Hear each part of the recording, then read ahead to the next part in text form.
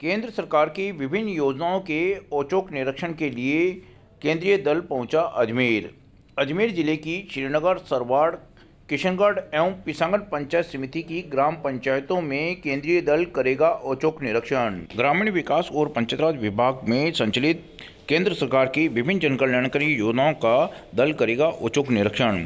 दल आज अजमेर ज़िले की पिसांगन पंचायत समिति की कालेसर ग्राम पंचायत में करेगा औचक निरीक्षण। केंद्रीय दल आज अजमेर आया हुआ है जो केंद्र से संचालित योजनाओं की विशेषकर नरेगा प्रधानमंत्री आवास सेंट्रल की पेंशन स्कीम इनका औचक निरीक्षण करेंगे ज़िले में और उनमें देखेंगे कि किस तरह से योजनाओं का क्रियान्वयन किया जा रहा है। आज दल कहाँ जाएगा सर?